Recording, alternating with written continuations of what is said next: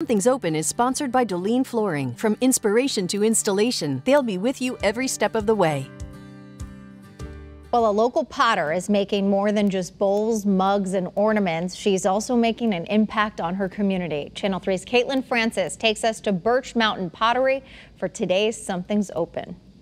Susan Gare's business, Birch Mountain Pottery, has been a community staple in Tolland for more than 35 years, and it was something she dreamed about as a child. When I was 10 years old, my mom took me to Sturbridge Village, mm -hmm. and I saw the potter working there, and I went, that's it. Over the years, many of her students and customers have become more like friends. I remember when we had the big recession 10 years ago, and I thought, oh, it's going to be not very good here economically. It was actually better because people wanted to support their local businesses, and that's what I'm finding now too. You know, um, they want to keep me here, so they're gonna keep coming. Due to the pandemic, Gare was forced to close the shop for a few months but started Tailgate Pickup, her pickup truck version of curbside pickup.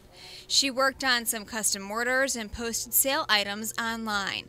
Now she's slowly welcoming students back by keeping them all distanced and at their own stations. She says potters tend to wash their hands a lot to get clay off anyway.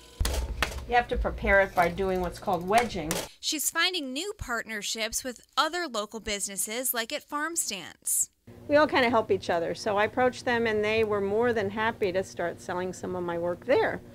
And I found it so wonderful to sort of combine with the local farmers um, who I, my heart's in that place anyways, and this just was even better.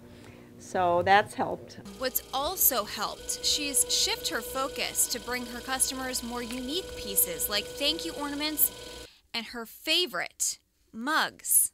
And then my last step will be to take a wire and just cut it. There's nothing more, I feel, personal because you pick it up first thing in the morning, you know, it fits your hand. And it's so funny. I do an event called Mug Day. I make 200 mugs, and they're all different little ones, big ones. And people come in and they try them on, and they find that one that just speaks to them, right? And fits their hands. So that's a very personal item, I think. Personal and creative, just like the art of pottery itself. For Something's Open in Tolland, I'm Caitlin Francis, Channel 3 Eyewitness News.